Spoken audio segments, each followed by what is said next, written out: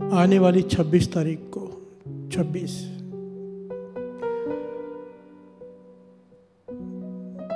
पाँचवें गुरु नानक गुरु अर्जन देव जी महाराज का शहीदी दिहाड़ा है, सात संगत जी। शहीदी दिहाड़ा जब गुरु अर्जन देव जी महाराज तत्ती तवी पर बैठे, वो दिन है सात संगत जी, जिन्होंने श्री सुखमणि शिव जी की वाणी की रचना की। हम पापियों के लिए वाणी की रचना की। वाणी का जहाज़ बनाया। बहुत बड़ा दिन है सात संगत जी। दास की एक मन की इच्छा है कि 26 तारीख, यानी कि 25 रात को, जो अमृत वेले श्री सुखमणि साहब जी का पाठ शुरू किया गया है संगतों के लिए। उस दिन जिसने कभी भी नहीं किया है ना श्री सुखमणि साहब जी का पाठ, जिसने सारा जीवन कभी नहीं किया है जो आपके घर में भी ऐसे लोग होंगे, आपके रिश्तेदारों में, मित्रों में, उनसे कहिए कि एक दिन वो अमृत वेले सवा ढाई बजे जो पाठ होता है श्री सुखमणि साहब जी का, अमृत वेले ढाई बजे और शाम को सवा तीन बजे। दास तो बेनती करेगा, दोनों पाठों में हाजिरी उस दिन ज़रूर भरो, पर अगर नहीं कर सकते किसी वजह से तो अमृत वेले तो ज़रूर भर लो हाजिरी। एक दिन गुरु अर्जन देव जी महाराज के लिए।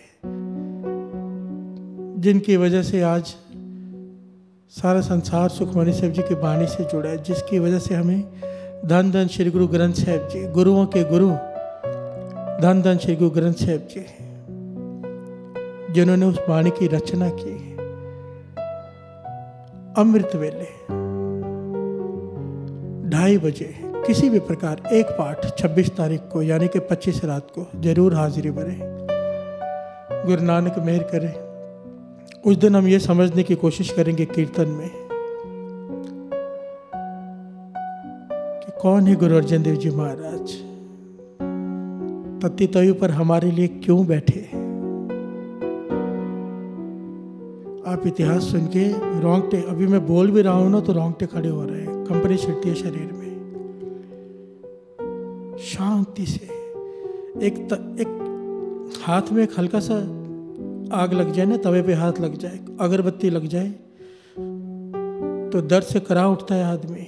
गुरु अर्जन देव जी महाराज पाँचवें गुरु नानक, तत्ती तवी पर बैठे, नीचे आग बल रही है, बड़ा तवा है, उसके ऊपर बैठे हैं। सर पर गर्म रेता डाल जा, डाला जा रहा है। पर क्यों बैठे हैं? और कमाल का पहलू देखो, जिस दिन गुरु अर्जन देव जी महाराज को तत्व तवी पर बिठाया गया, जो हमारे लिए बैठे संसार के भले के लिए बैठे उस दिन क्या होता है? सिख जगत क्या करता है उस दिन? अगर गर्म किया है गुरु महाराज को,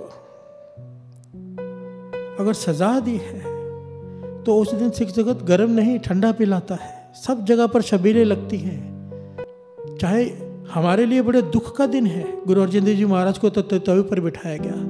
पर सिख दूसरों को, मन को, तन को शांत करने के लिए ठंडा पिलाते हैं क्योंकि गर्मियों के दिन है, शबीलें लगती हैं, मीठा खिलाते हैं।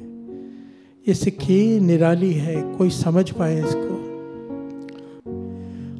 आखिर में हाथ जोड़कर बेनती है 26 तारीख को 25 रात को, यानी कि 26 सवेरे, ढाई बजे श्री सुखमणि साहिब जी के जो पाठ होते हैं, एक दिन के लिए जो कभी नहीं उठते, वैसे तो रोज उठना चाहिए हाथ जोड़कर बेनती दास पता है, एक दिन के लिए क्यों कहता है? क्योंकि अगर मुझे पता है, जो एक दिन उठ जाएगा, गुरु अर्जन देव जी महाराज उस दिन ऐसे कृपा कर देंगे कि सारे जीवन का अमृत वेला बख्श दे। उनके लिए उठो एक दिन, गुरु नानक मेहर करे। वाहे गुरु जी का खालसा। वाहे गुरु जी की फतेह।